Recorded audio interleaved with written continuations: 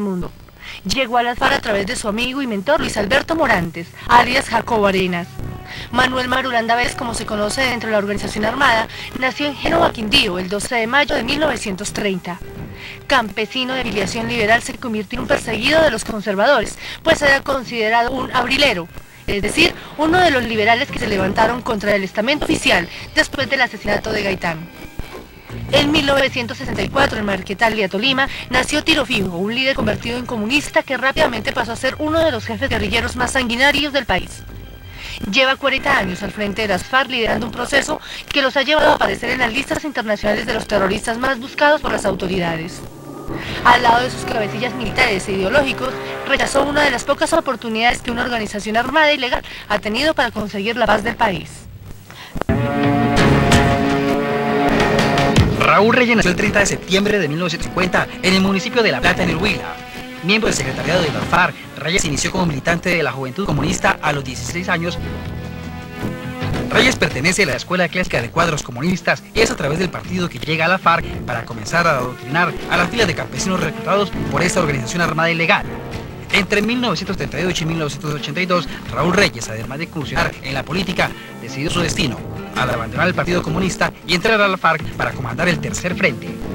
También tuvo que enfrentar la guerra que desató Gonzalo Rodríguez Gacha en el país contra la FARC y que en Caquetá condujo Leonidas Vargas. Finalmente las FARC deciden por Reyes comenzar también a financiarse con la droga.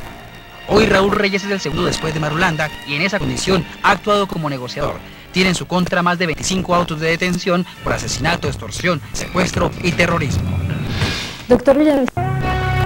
Lo mismo la Gentil. Nació en el municipio de Pasca, en Cundinamarca, y se vincula a las FARC como guerrillero raso en 1975, y después de más de 20 años llega al secretariado de las FARC. El Mono hoy conocido como uno de los jefes militares de las FARC, tiene bajo su mando cerca de 64 frentes, 14 columnas móviles y 6 bloques que en su mayoría se dedican al narcotráfico y el secuestro.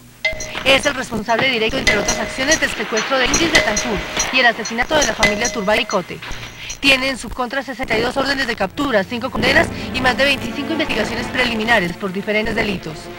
Su hermano Germán Suárez Briceño, alias Granobles, escaló rápidamente posiciones en las FARC gracias a su apoyo, después de ingresar en 1986. Comandante de los frentes 30 y 16, ha enfrentado y superado juicios revolucionarios por manejos corruptos. Gran Nobles ordenó asesinar a tres indigenistas norteamericanos el 17 de febrero de 1999, por lo cual tiene orden de extradición vigente a Estados Unidos. Doctor Villamizar. Telefónicas también van a ser importantes, entonces váyanse preparando. Y les cuento que esta semana vamos a tener como un, pequeño partido de fútbol entre los dos colegios. ¿Quién tiene la paternidad entre ustedes dos? El campestre toda la